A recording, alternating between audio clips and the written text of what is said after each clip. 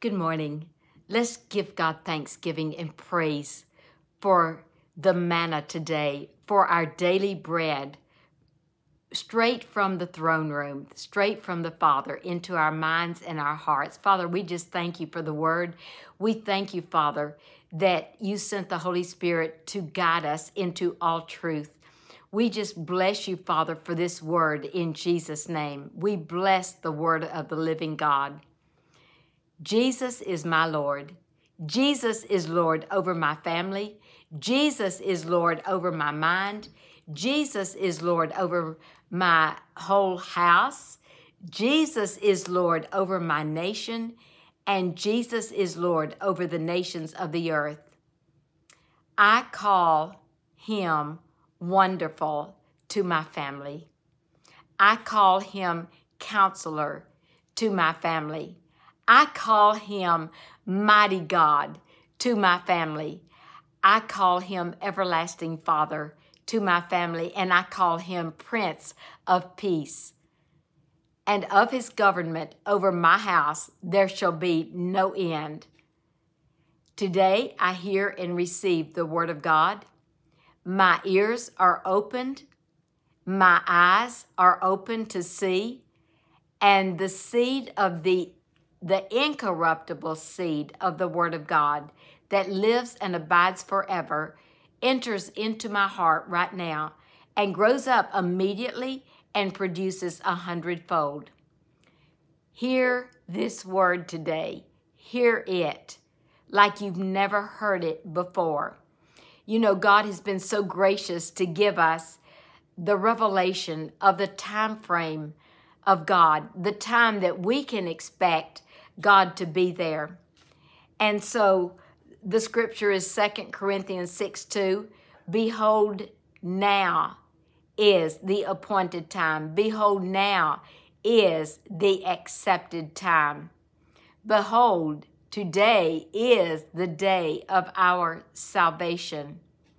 So, can we, as an individual, put a time limit on God? Can we believe for Him to be there right now?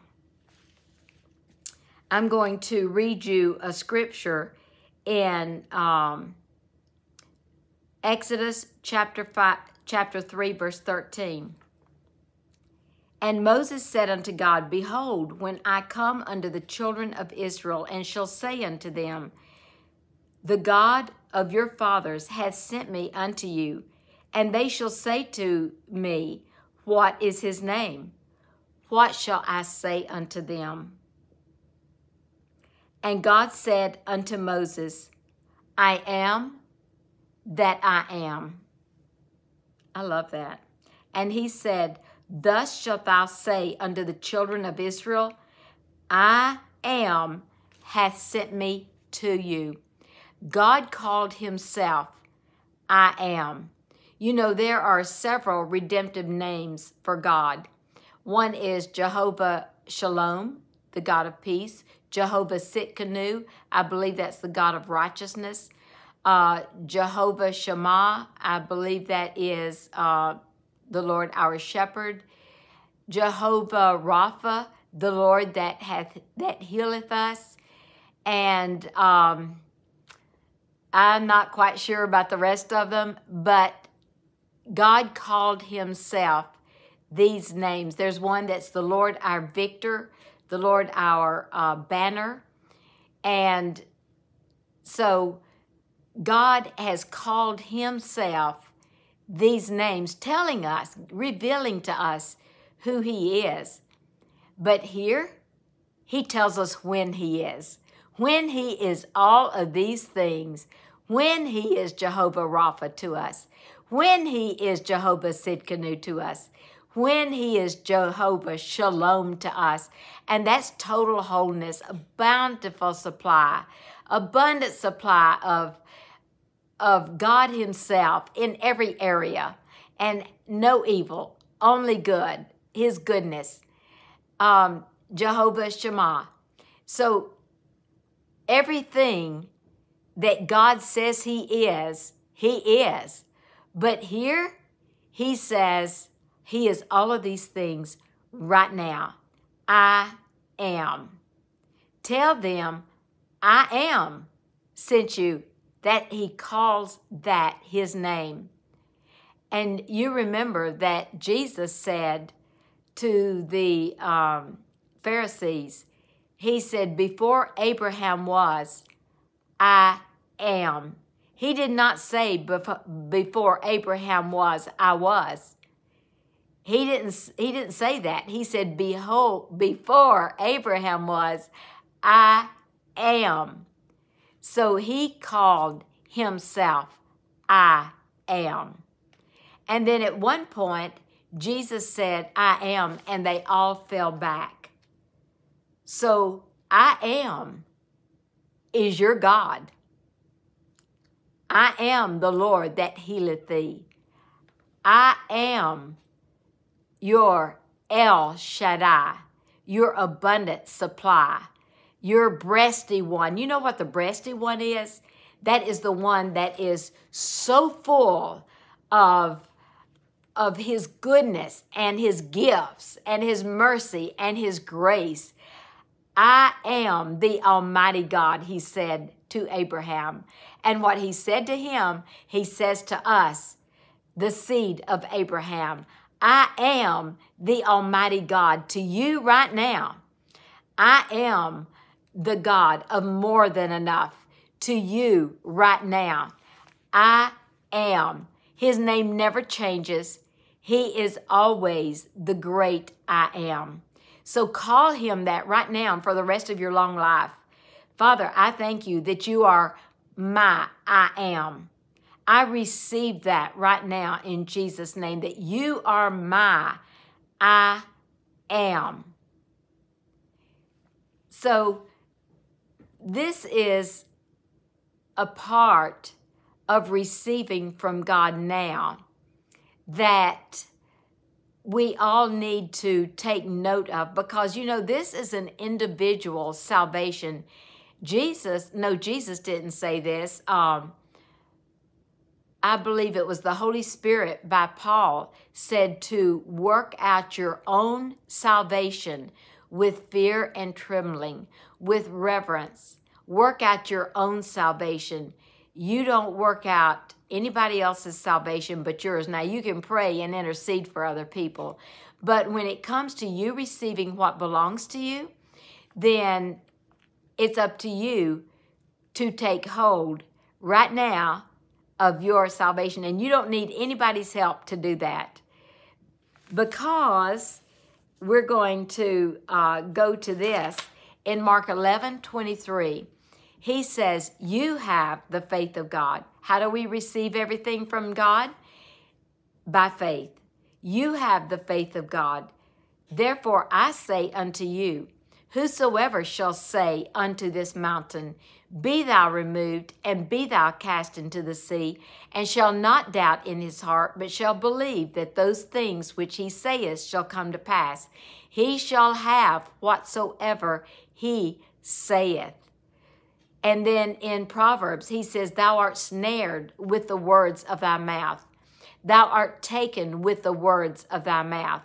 In James, he says that the tongue sets on fire the course of nature. So it's very important that our mouth not only says what we are receiving from God, but when we are receiving it. And actually, you know, every person is putting a time frame on God. It's not that we can, we are. We're either we we're either saying, well, tomorrow or the first of the month or when my income tax comes in.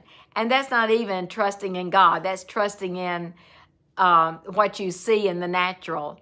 So I've heard people say about a loved one, you know, when they get to the end of their rope, they're going to come to the Lord.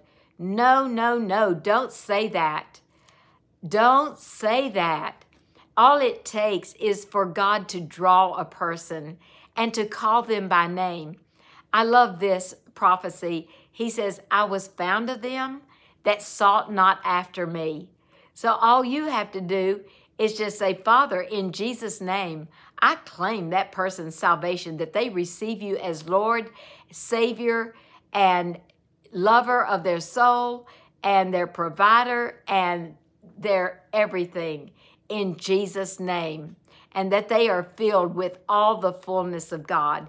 And I thank you that it is done now in Jesus' name. Did he not say, Ask anything in my name and I will do it?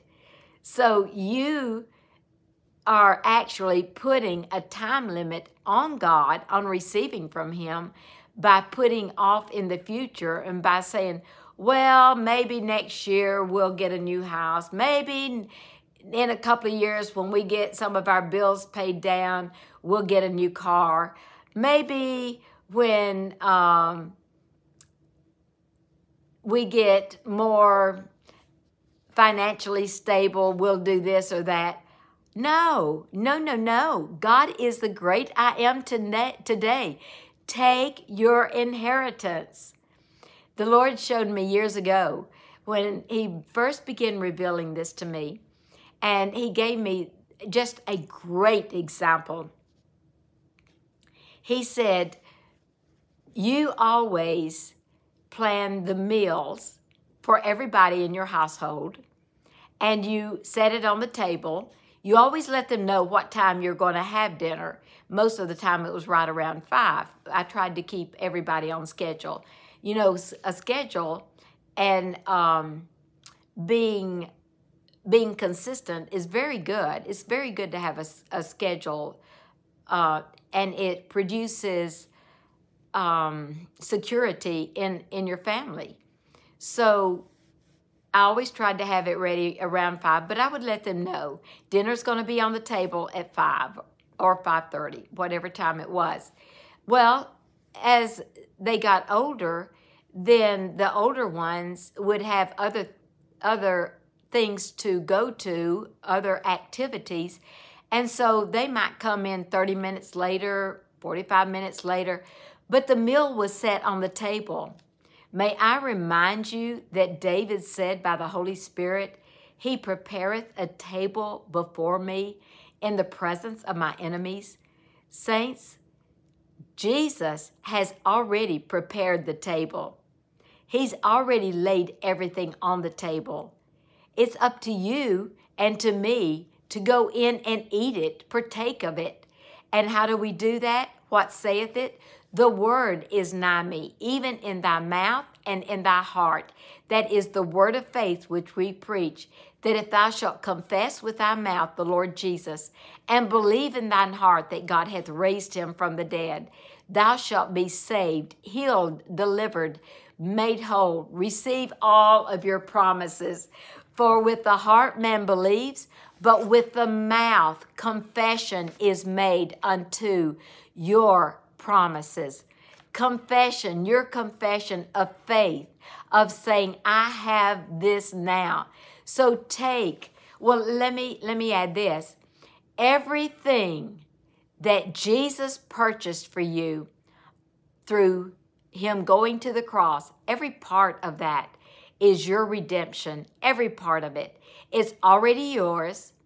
Nothing he did is a reward for something you do. Everything he gave, everything he did was a gift to every one of us. And so, um, since it has already been done and it is a gift, and he has spread the table, and the table is full, just like David said, I will take the cup of salvation and I will call upon the name of the Lord. And so it's very important that you put in your mouth now, now, now, immediately, suddenly, now, and not put off in the future with your words because you're snared with the words of your mouth. Today is your day of salvation. So today, all of my family is coming over. I'm so looking forward to it. And we're going to celebrate the love of Jesus, His grace, His mercy. We're going to celebrate Jesus. But you know, we're going to celebrate by giving gifts. And that is just one of my greatest pleasures is to buy gifts and to bless them. And so they're all coming over uh, this evening. We're going to have dinner and then we're going to, uh, then I'm going to give them their gifts. And I love to take my time with it and not just um, everybody go at it once. So I kind of categorize the groups and we start with the youngest. But you know, I've got the gifts already. They're all around the tree. Everyone has gifts. Everyone. But you know what? They have to reach out and take it. I'm going to hand it to them, but I can hand it to them, but then they have to reach out and take it with their hands, and then they have to take it home to enjoy it. We have the hand of faith. In Second Chronicles, I believe it's Second Chronicles, he said to, God said to King Asa, he said, Be ye strong therefore, and let, let not your hand be weak, for your work shall be rewarded. So this is the way the Holy Spirit brings it to me.